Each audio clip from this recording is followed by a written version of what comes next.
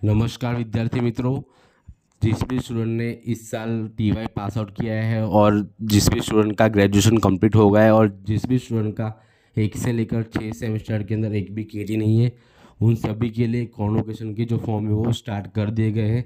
तो उस फॉर्म को कैसे भरना है, मैं आज आपको बताऊँगा।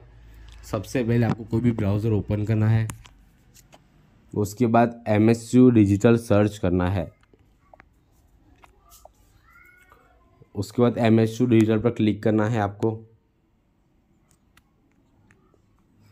उसके बाद आपको स्टूडेंट लॉगिन पर क्लिक करना है। क्लिक करने के बाद आपको यहाँ पे आपका यूज़र नेम है, जो भी हो D ninety D twenty D eighty जिस स्टार्टिंग से हो रहा है, उसको आपको यहाँ पे डालना है। उसके बाद उसका पासवर्ड डालना है।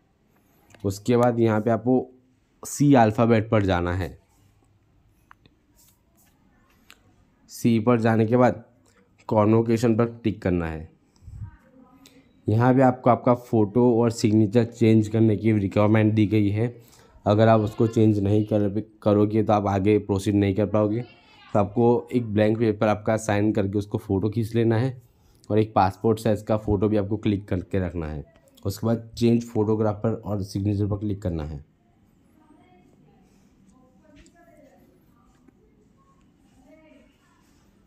आपको एक ऐसा एक फॉर्मेट दिखाई देगा। तो आपको यहाँ पे चूज़ करना है आपका जो फ़ोटो आपने जो खींच के रखा है फ़ोटो चूज़ करना है। उसके बाद आपका यहाँ पे सिग्नेचर उसके बाद रिक्वेस्ट अपडेट और उसके बाद प्रोसीड जैसे ही क्लिक करोगे, आपको यहाँ पे न्यू एप्लीकेशन पर क्लिक करना है। उसके बाद यहाँ पे आपको अप्लाई का ऑप्शन दिया गया है। वहाँ पे आपको क्लिक करना है। जैसे क्लिक करोगे, यहाँ पे आपको आपका आधार नंबर आपका जो स्पेशलाइजेशन सब्जेक्ट होगा, वो स्पेशलाइजेशन सबके सब्जेक्ट डालना है। उसके बाद स्टेटमेंट पर क्लिक करना है। उसके बाद यहाँ पे आपका जो एड्रेस रहेगा वो आपको डालना है। जो परमानेंट हो तो परमानेंट या फिर अब करस्पॉन्डिंग आपका जो एड्रेस हो, अभी जहाँ पे आप अभी रहते हो, वो एड्रेस डालना तो वो एड्रेस आपको डालना है। उसके बाद यहाँ पे प्रोसीड पर क्लिक करना है।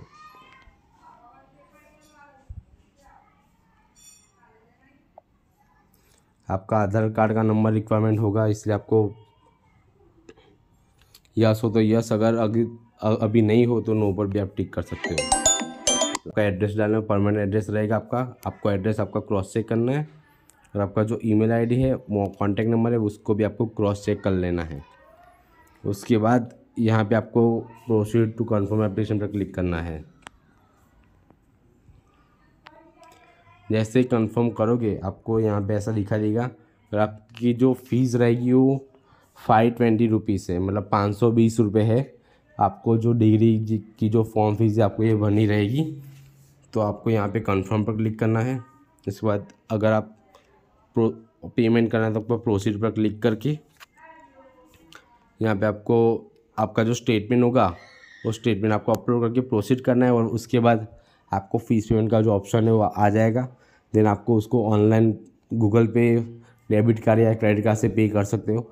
और फॉर्म भरने की लास्ट डेट है ट्वेंटी फाइव ट्वेंटी फाइव ये पच्चीस तारीख तक के लिए डेट है। ये लास्ट डेट उसके बाद आप फॉर्म नहीं भर भर पाओगे। तो आपके पास चार दिन बचे तो फॉर्म भर दो।